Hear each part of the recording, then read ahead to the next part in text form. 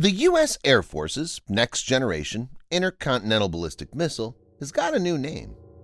Earlier known by the name of Ground-Based Strategic Deterrent, or GBSD, the weapon system under development has officially been designated as Sentinel.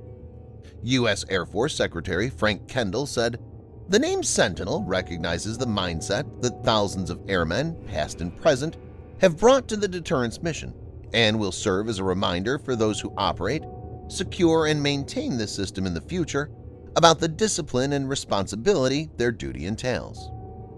Sentinel should be ready to start replacing the Minuteman missiles in 2029 according to projections. The missile is expected to serve till 2075, giving the U.S. a reliable, land-based nuclear deterrence. The United States will invest nearly $100 billion in the coming years for Sentinel. In this video, Defense Updates analyzes how the Sentinel ICBM would be the next big thing for the U.S. military. Let's get started. This video is sponsored by War Thunder. If you are, like us, fascinated by military vehicles and technology, I recommend you give War Thunder a try. It's a military vehicle combat game which you can download and play for free on PC, PlayStation 4, and Xbox One with cross-platform support. It has a huge variety of more than 1,200 playable aircraft, tanks, helicopters, and ships from the 1930s to the 1990s, which you can take to battle on land, in the air, and at sea on more than 80 theaters of war. War Thunder's been kind enough to offer all Defense Updates viewers a special bonus, which will grant you a free premium tank, aircraft, or ship and three days of premium account time for registering using our link in the description below. So take the plunge and join more than 20 million players from around the world.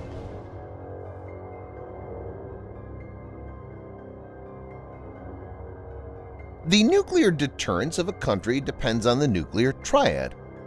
A nuclear triad is the capability to launch nukes from air, sea, and land. The U.S.'s nuclear triad includes B-2 and B-52 bombers with nuclear bombs and missiles, Ohio-class submarines armed with Trident II D-5 missiles, and Minuteman III ICBMs. The Minuteman family of missiles has served as the backbone of the U.S. land-based nuclear strategic force since 1962. The Minuteman III began development in 1964 and entered service in 1970. The number shrunk to around 450 by September 2017, and currently there are about 400. Over the years, the Minuteman III has been found to be extremely reliable, and several upgrades and life extension programs have kept it in working order. But now it's reaching the end of its service life.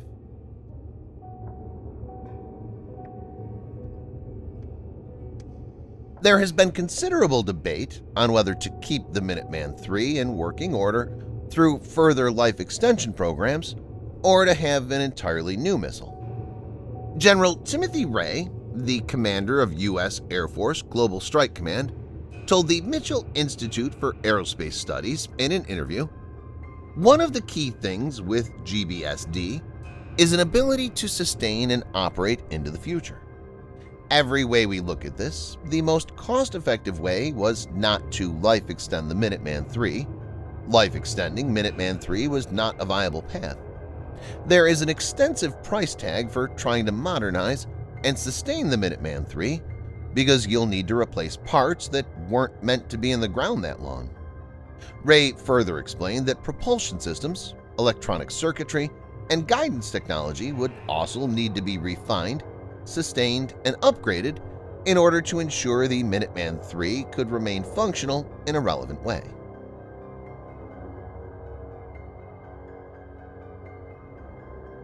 In August 2017, the U.S. Air Force awarded three-year development contracts to Boeing and Northrop Grumman for $349 million and $329 million, respectively.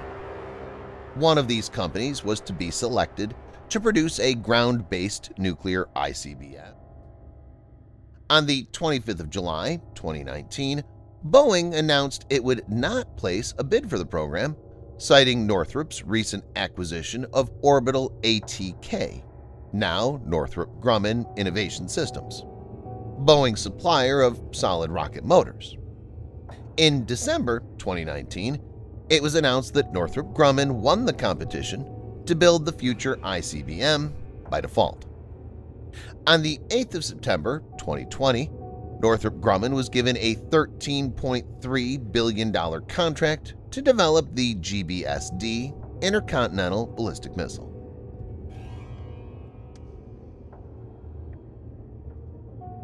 Sentinel will incorporate low-risk, technically mature components and feature a modular architecture that can easily incorporate emerging technology to adapt as needed.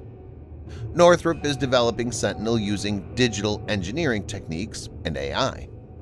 This enables the corporation to examine different configurations without actually building them. Northrop has reportedly studied 6 billion different configurations for the missile using computer modeling.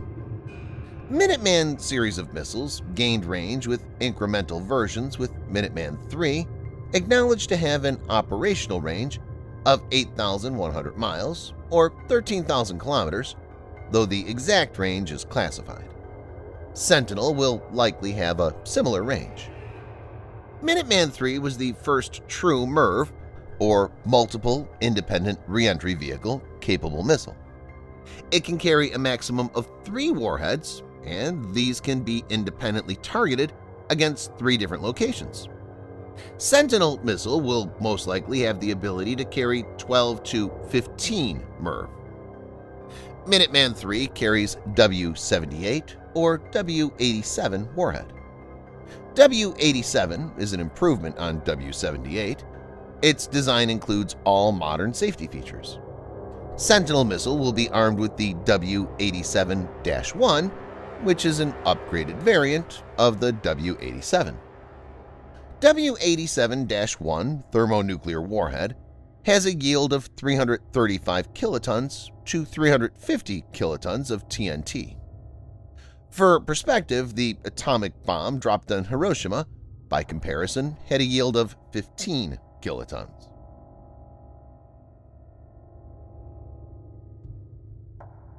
Minuteman III has been the cornerstone of American land-based nuclear deterrence for around five decades.